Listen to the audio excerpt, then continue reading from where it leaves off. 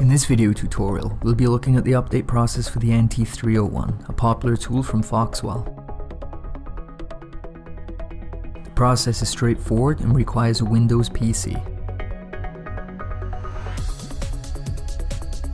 First off, connect the included USB cable to the tool.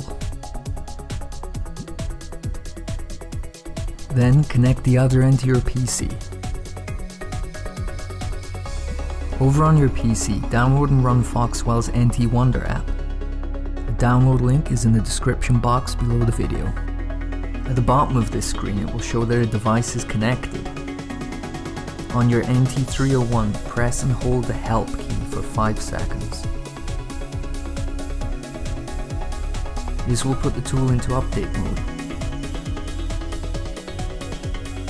Message at the bottom now shows that your device is connected. Click the Update Online button to check for available updates. It may take a moment to complete the check. Once available, select the required update. Confirm that you want to update the tool.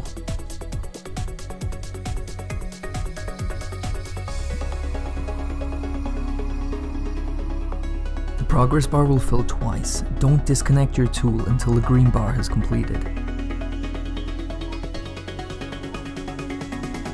Depending on your connection speed, this could take a few minutes.